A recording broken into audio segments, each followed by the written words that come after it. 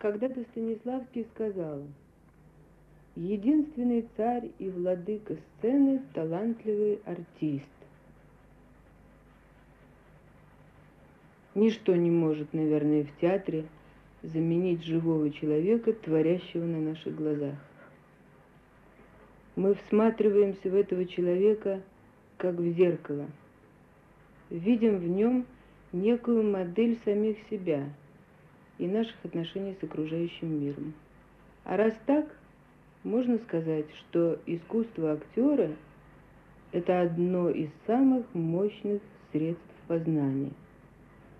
Нет, не зря мы всматриваемся так пристально не только в созданные актерами образы, но в судьбы и характеры самих творцов.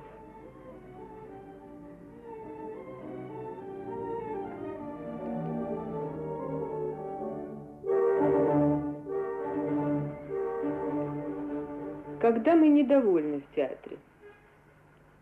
Когда актер играет безжизненно, неправдиво. Так мы это определяем.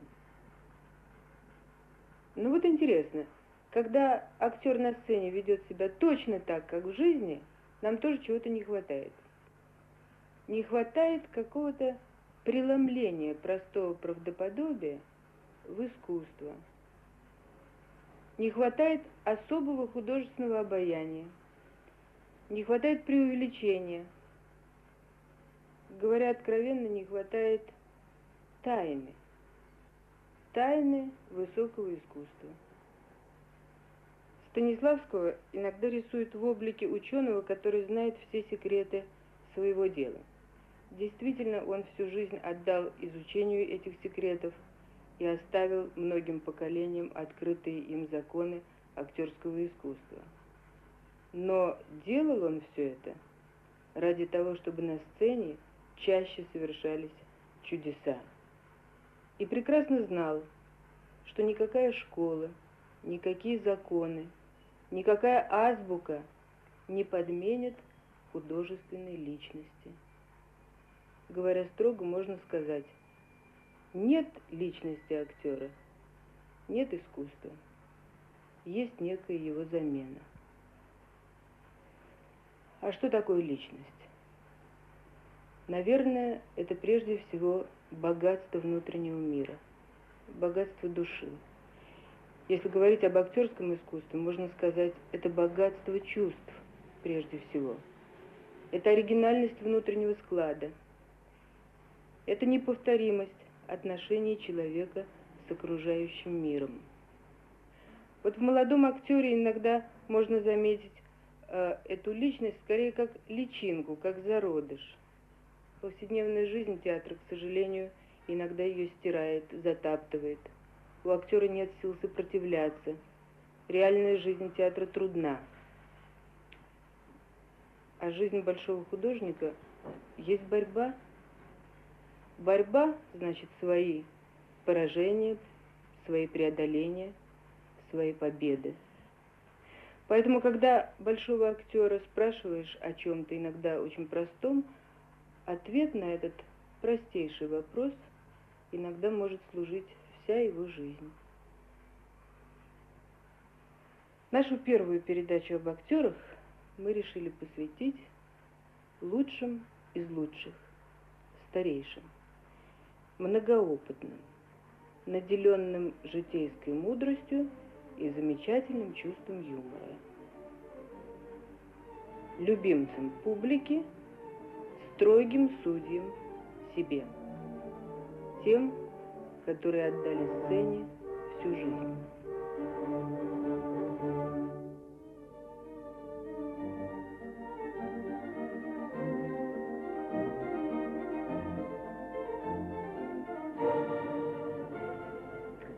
Такое понятие судьба, судьба. жизни в театре, к своей актерской судьбе, как вы относитесь? Как, как вам сказать? Неважно. Почему? Потому что я могла бы сделать гораздо больше. И в театре, и в кино, если бы мне предоставили такую возможность. Кто мешал? Мешал? Не любили меня режиссеры. За что? Наверное, за инициативу. Я лезла со своими предложениями, решала сама все задачи. Может, не надо было? Не надо было, нет. Полегче жить было бы. Полегче жить было бы, правильно, да. Ну, как вам сказать, лучше могло бы быть. Судьба могла бы быть более удачной. У меня так много, у меня ничего не сыграно фактически. Ну, как ничего? Все осталось при мне, что я хотела бы еще ска сказать. Ну, не все, Файнгерн, столько выплеснуть и Выплеснуть, ничего. выплеснуть, это милое. Это ж не помоешь, чтобы выплеснуть, правда? Тоже верно. А что бы вас сейчас могло обрадовать в театре? Меня могло бы обрадовать, если бы я работала с актерами, у которых я могла бы учиться. Сколько же лет вы на сцене? На сцене шесть десятилетий. И такие претензии, подумаете. А что вы не любите в театре? Я не люблю зазнайство, каботинство,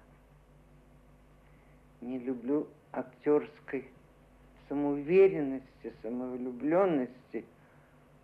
Не люблю. Вот. А главное, равнодушие. Вот равнодушие – это гибель театра.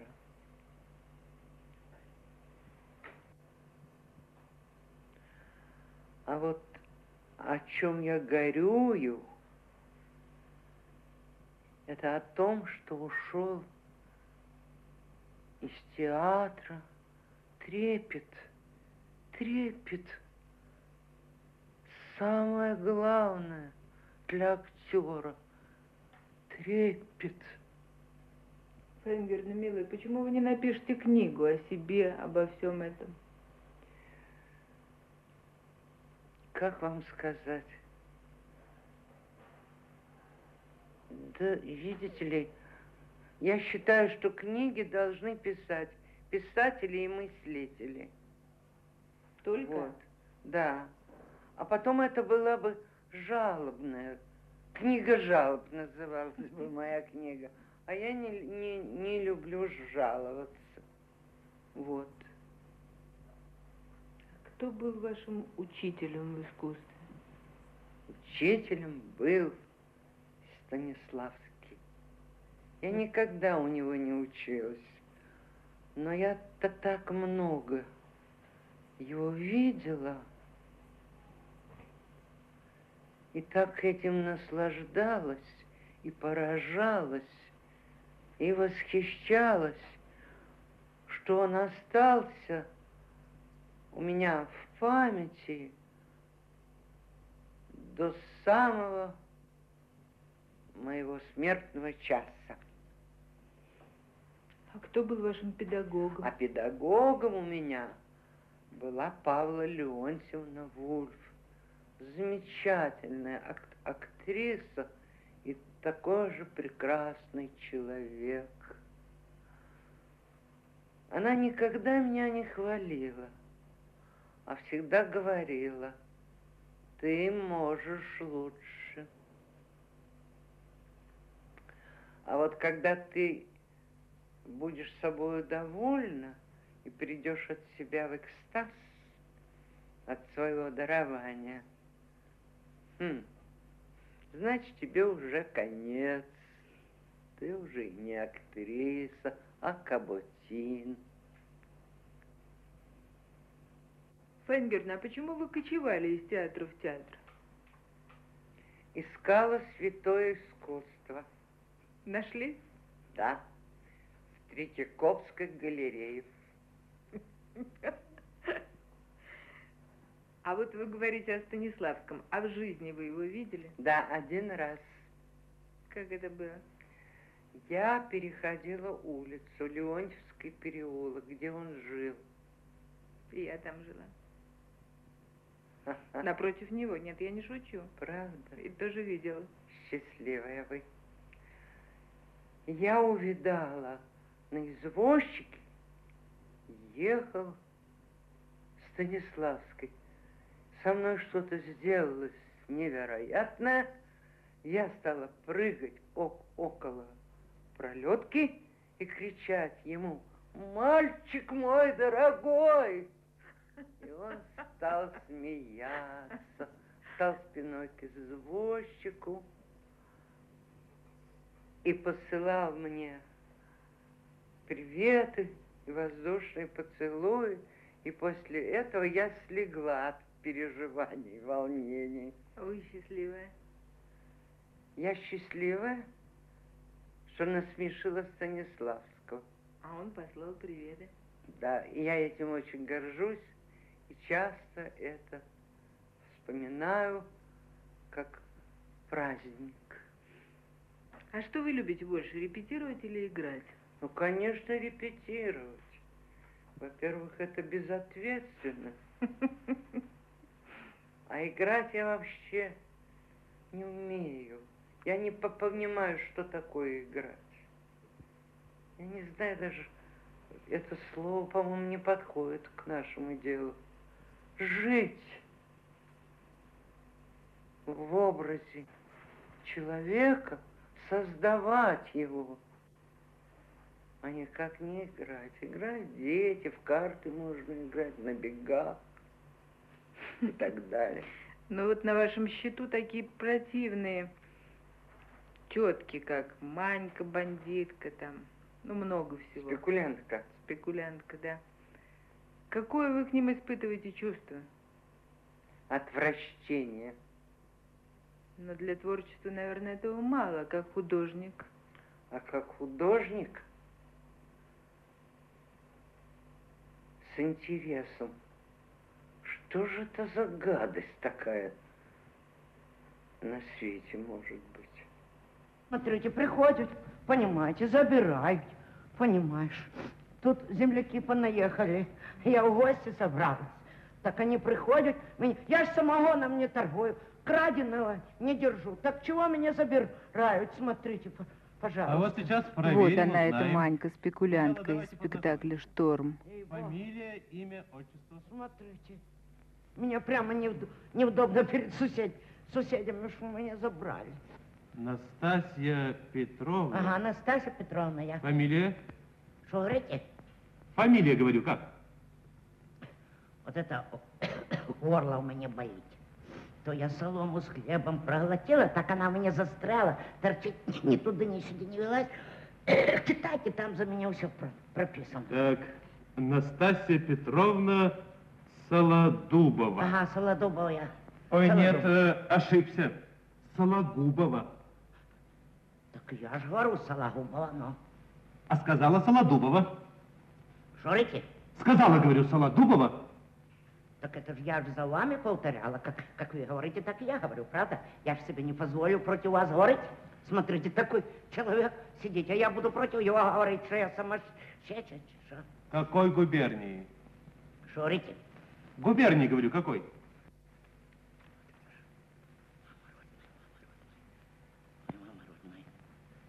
А? А, Херсонской-то губернии. Ох, далеко, однако, забрались, а? С Днепра на Волгу. У Деникина места не хватило. Вот там бы и спекулировала себе на здоровье. Да не нравится мне в Деникина, ну, бандюга такой тот Деникин. Понимаешь, комиссар, ограбляют нас там, отымать у нас все. Я, может, через того Деникина голая-то босая осталась. Мне вас больше нравится, ей-богу. Вас как-то, знаете, приличнее вас, спокойнее вас. У нас спокойней, да? А Ага. вот сидишь арестованная. Так тоже ошибка ж получилась. Как вы разберете, что я не, не повинная? Вы же меня выпустите, правда? На то же вы наша вот это, как ее? Да здравствует! Крестьянская, советская, рабочая власть, ура! Так, Знаешь, комиссар, как мы вас дожидались, а? Я ж так особенно, я ж прямо аж горела вся, пока вы не пришли, ей-богу. мгм. возраст. Что говорите? Сколько лет? Сколько меня годов, Да. да? Я уже со счетов сбилась, а ей-богу. Я уже замуж не собираюсь, а так я уже и доу не считаю. Что-то мне коло 50. 50 лет. Крестьянка, Ты уже ж не дворянка я. а написано мещанка. Шорите? Написано, говорю, мещанка. Посмотрите, какие цепкие у нее руки. Они непрерывно живут, и в руках звериная сущность этой Маньки. Чем занимаетесь? Шорите? Занимаетесь чем? Да вот это же я немножечко торгую, меняюсь, я... Чем торгуете? Я главным образом меняюсь. Я, он, знаете, комиссар, сменяла в артистке гуся на платье-то граммофон. Так платье у меня все как есть разлазится, граммофон не поет. Артистка еще интеллигентная, у цирки на голове ходит. Так, понимаешь, каждый норовит тебе сорвать. Чего меня вот сейчас зарасту, Валя, ну чего меня взяли? Я же самогоном не торгую, кома- комиссар. Ну что, ей-бо, краденого не прячу, так они приходят. Мне же неудобно перед соседями теперь. А где всё- достаете это барахло? Одних, понимаешь, берешь, другим У продаешь. кого берете? Да город же большой, разве уже всех запомнишь, кого, кого берешь, ей-бо. а? Ну, назовите хотя бы одного по фамилии. Что вы говорите? По фамилии хотя бы одного назовите. Да как же ж я вам чужое фамилия скажу, как мне уже свое в голове не держится. Ну, время ж какая кошмарная.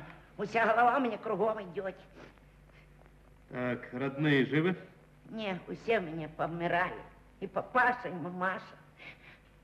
Сирота я. Семейное положение. Что говорите? Муж, говорю, есть? Не я барышня. Так, где живете? Да где все люди живут? На земле-то и в доме живу. Ага. Ну, хорошо. Еще один вопрос и отпущу. Где достаешь заразное белье и обмундирование? Какое белье?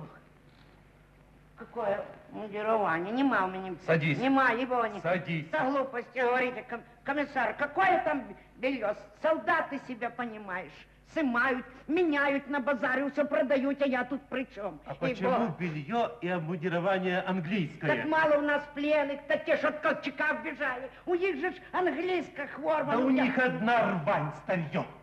А у тебя много нашли этого белья. Нема, склад. нема меня, нема, ебо нема. Глупости говорите, комиссар. Какое у меня белье? Что говорите, ебо? Слушай, Манька, Марья Карповна, брось дурака валять. Все знаешь за меня, да? Все знаю. Вот это у вас работа. Ну вот Манька, Ну, давай поговорим по-хорошему. ну, чего? Ты ведь знаешь, что тебя ждет за спекуляцию тифозным бельем? Ой, Для тебя же лучше Ну? во всем признаться. Ну, Оля. Откуда и у кого достаешь это барахло, и кто помогает тебе его распространять? Скажешь на чистоту? Ага. Ну, в тюрьме посидишь, но будешь жива. ага, Не скажешь? Расстреляем. Невозможно предугадать, каким будет следующее движение, следующий звук этой сценической жизни. знаешь, что она говорит? Ой!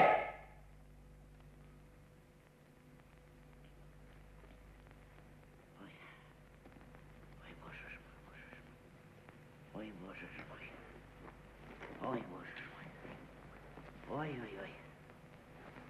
Что у меня говорить? Так что советую тебе подумать. Подумать. Дай мне закурить, комиссар. Ой-ой-ой. Кури. Что он мне дает крутить? Мне ж руки отморозены, я не могу крутить. Давай мне папиросы. Крути. крути. Ай, боже ж мой, боже ж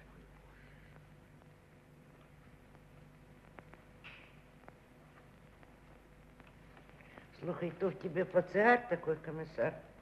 Да. Вот этого? Такой человек, и вот такой пациар. Аж смешно мне его. А что? А что у меня вот этих пациар завалиться можно, ей-бога. У меня есть один золотой, полфунта весит с монограммами. Ей-бо. А какой, какой пробы, Манька? Ты что, интересуешься за золото? Да ты мне брешешь, ей-бо брешешь. А ну иди сюда, иди. Ну, Смотри меня в глаза. Брешешь меня, а? Так мне вот это слухай.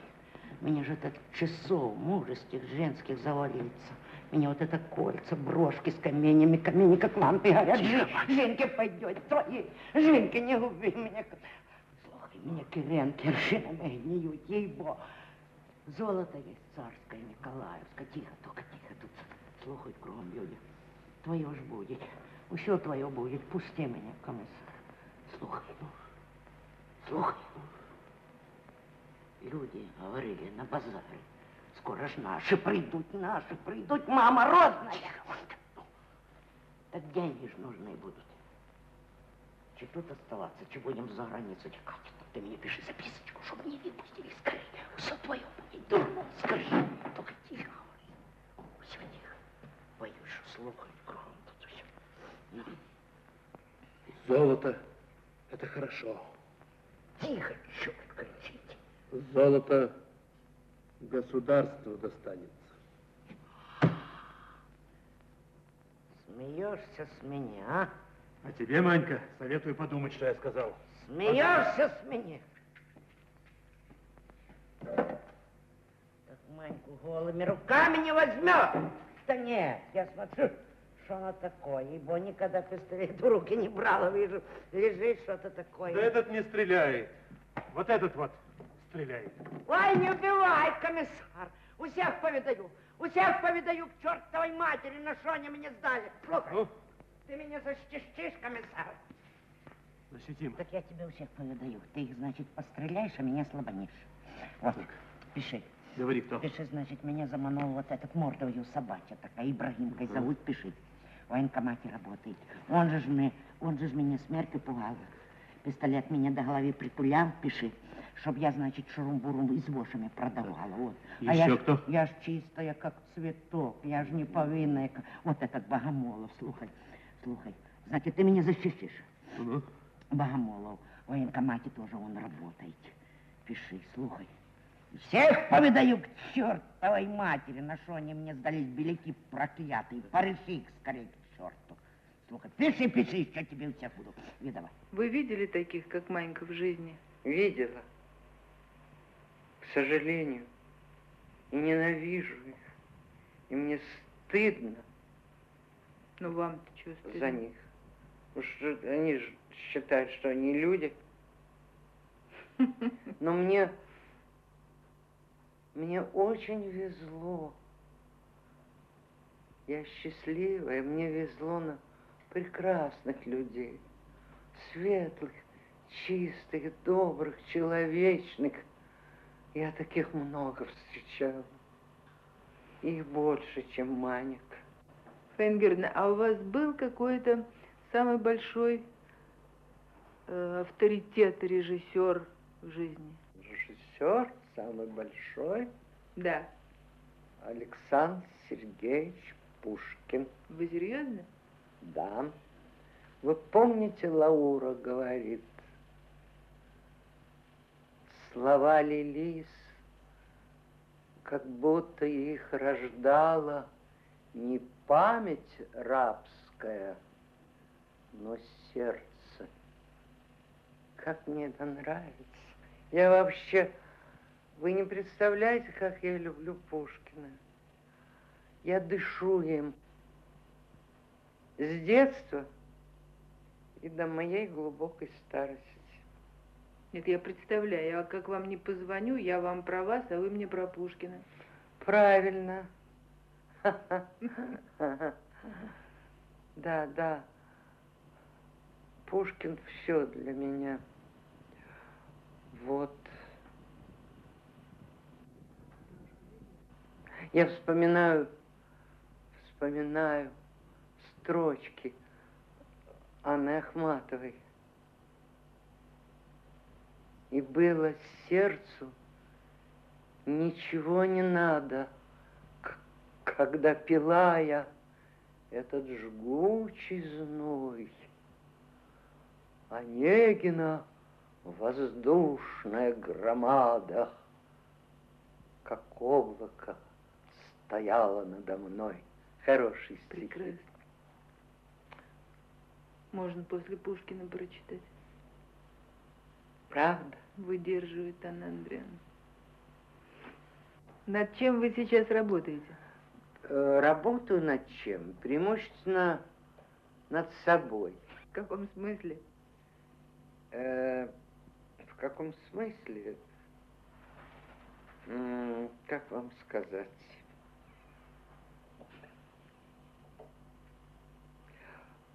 А, Симулирую здоровье. Простите, ничего смешного в конечном счете нет. А как вы относитесь к собственной популярности? Э, Как вам сказать? Это моя маленькая женская тайна. А можно поподробнее? Поподробнее? Ну, конечно, приятно, когда хвалят. Это, пожалуй, единственное, что не надоедает. Тем более, что я сама собой никогда не бываю довольна. Мучаюсь, терзаюсь. После спектакля не сплю. Все играю, переигрываю всю роль обратно. Ну, нужны похвалы. Нужны. Ну, ну, нужно, когда меня хвалят, ну, все-таки это компенсация какая-то. Ну, знаете, вроде вкусного пирожного. Ну, я не бываю собой довольна. Никогда. Никогда. Нет, не помню такого случая. Не было такого случая, чтобы я от себя была в восторге. Файнгерн, а как вы считаете, ум, интеллект актеру нужен, необходим? Вы знаете, я наблюдала очень интересные вещи в жизни. Кретин, болван, дебил, на сцене умный. Вот сядет, как бородавка на человека. Он виноват, не- он не виноват в том, что на него села бородавка, понимаете? А что сядет? Талант. Талант.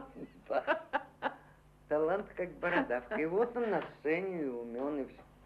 Но есть И другие примеры. О, я знаю пример обратный этому. Необычайно умную, тонкую, изысканно тонкую актрису неповторимого таланта. Я всю жизнь стою перед ней коленно преклоненно. Это Верико Анджапаридзе. А что вас потянуло к пьесе «Дальше тишина»? Сострадание к старикам этим. Чувство сострадания, оно часто вас посещает? Сострадание – это самое, самое привычное мне чувство. И жизнь моя из-за этого очень нелегка. Не жалеете об этом? Нет, А вы знаете, что на этом спектакле в зале очень много плачут? знаю, И как вы к этому относитесь? с удовольствием. Пусть.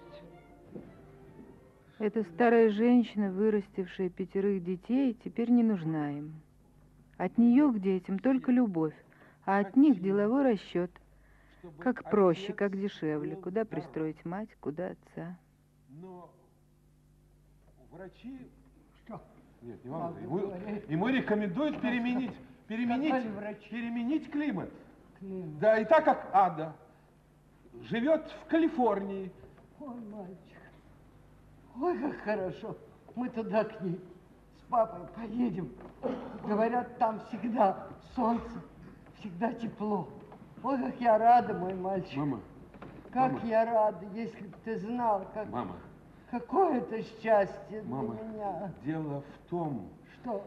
что Ада Что, да? м, может взять только папу. Почему? Почему? Почему? Ну, а она, Только папа. она, А меня не может взять. нет, она, она не может взять двоих. Почему? Ты ей скажи вот что.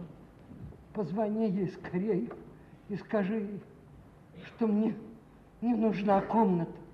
Я могу жить в чулане, под лестницей, где угодно. Только чтобы быть рядом с ним. Потом скажи, отец ослабел, я нужна ему, понимаешь? Я нужна ему. Скажи ей, что я буду все делать, буду, буду вместо прислуги. Она может отпустить прислугу. Я буду стряпать, буду стирать, убирать. Я буду все делать. Пусть возьмет меня. Скажи, скорее позвони ей. Скажи, пусть возьмет меня. Я нужна ему. Как же это он будет без меня? Как это? Это же невозможно. Ну, скорее позвони ей. Мальчик мой, позвони ей. Я же прошу тебя, Мама, скажи ей. Она может отпустить свою прислугу. Я буду все делать. Пусть возьмет, звони скорее Мама, по телефону. Скорее. она не может. Не может. Моя дочь не хочет меня взять.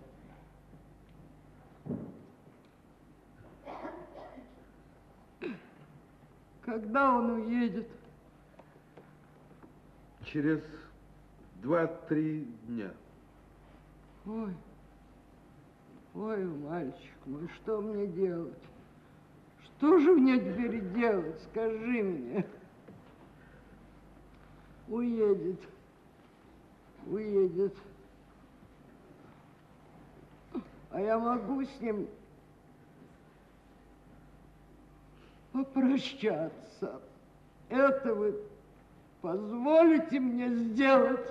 Мам, ну что ты, как, что ты О, говоришь? боже мой, уедет без меня мальчик. Что мне делать, милый мой дорогой мальчик? Что мне? Я с ума сойду.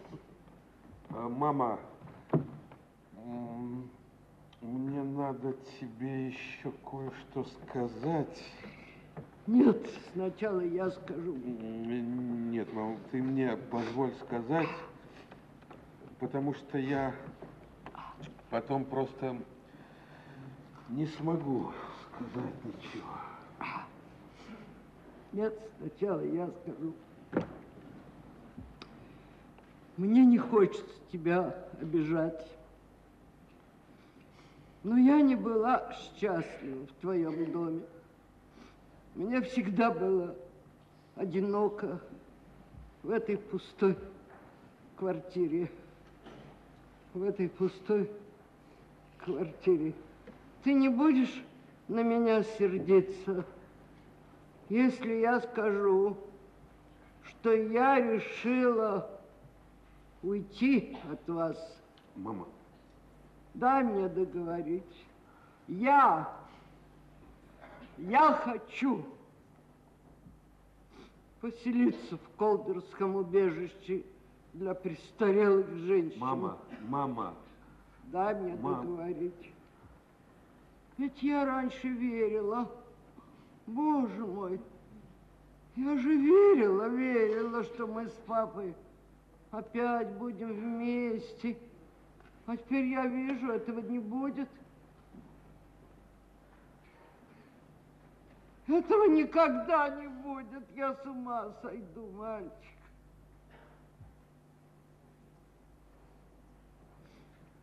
Мне было трудно сказать тебе об этом. Пойди сюда.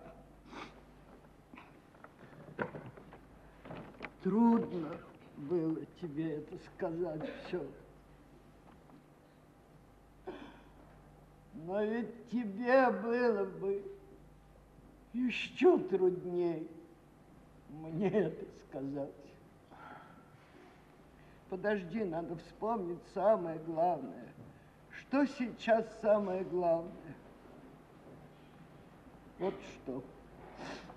Предупреди сестер и брата, чтобы они не говорили отцу, что я живу в приюте. Пусть он думает, что я по-прежнему живу у тебя, что мне у тебя хорошо. Ты мне будешь пересылать его письма. Ты, ты не будешь забывать, правда? Мальчик, ты не будешь забывать? Ответь мне. Ты не будешь забывать пересылать мне его письма? Это будет первая в моей жизни тайна от твоего отца. Пусть плачут, сказала Фаина Георгиевна. Пусть. Может быть, меньше будут плакать в жизни. А вы не обратили внимания, что мы стали гораздо реже плакать в театре? Может быть, стали такими мужественными? Не думаю. Думаю, что меньше стало актеров, способных вызывать в зале эти высокие слезы очищения. И на спектакле «Дальше тишина» это делает актриса, которую мы знаем как актрису характерную.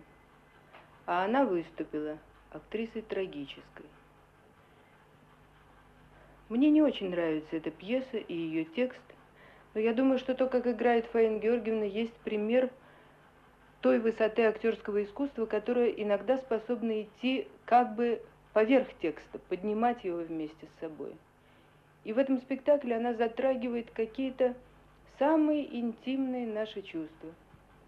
Вот один человек, говорят, когда его после спектакля позвали домой, сказал, нет, я сейчас пойду к маме. Я сначала пойду к маме. Вот в эти простые слова, может быть, и укладывается смысл этого спектакля и смысл того, что там делают Раневская и Плята.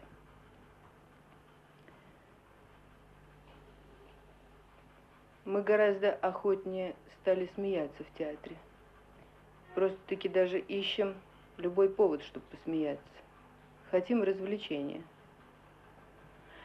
Но галерею тех смешных образов, которые созданы на сцене и на экране Раневской, назвать э, развлечением язык не поворачивается. Это примерно то же самое, что назвать развлекательным роман Гоголя «Мертвые души» или писателя Зощенко назвать развлекательным писателем. Это совсем другое. Наверное, Фаина Георгиевна посмеялась бы, если бы сказать ей, что она выступает на сцене и на экране как исследователь человеческой природы. Однако я думаю, что это так. А природа человека – она, с одной стороны, познана, с другой стороны, вечная загадка. И в ней очень много смешного, неприятного, противного, высокого, трагического, комического. И вот взять это в полном объеме, взять бесстрашно, на самых резких переходах от гротеска к трагедии, от низкого к высокому и обратно, вот на это способна такая актриса, как Раневская. Невозможно не сказать еще об одной ее особенности. Файнгерна не случайно так резко отталкивается от слов, что она играет. Нет, не играет, она живет. Она, конечно, играет. Это не точно, что только живет. Но э, ее игра – это действительно есть жизнь, если под жизнью понимать э, постоянное изменение, изменчивость. И в этом смысле партнером Раневской, безусловно, с ней очень трудно. Она не играет никогда одинаково. Если вы один раз видели спектакль «Дальше тишина», то я бы вам сказала, посмотрите еще раз. Сколько нюансов, сколько тех прелестных перемен, изменений, э, того прелестного непостоянства, которое, собственно, и есть обаяние актерского искусства. Я бы многое могла рассказать о том, что такое общение с Фаингердой Раневской, но времени нет, жалко. Когда от нее уходишь, никогда не уходишь обедненной. Я всегда иду домой и думаю, от чего человек становится богаче, общаясь с другим человеком. Вот Фаине Георгиевне немало лет, и, э, глядя на нее, рождаются разные мысли, в том числе мысли грустные о возрасте, об одиночестве. Но над всем этим стоит другая мысль и другое чувство. Это, конечно, восхищение. Это восхищение удивительным складом человеческой природы, ее высотой и, я бы сказала, красотой. Та красота сквозит в душевном строе и никогда не может быть стара. Это строчки поэта Николая Бараташвили. Вот это можно отнести к Раневской.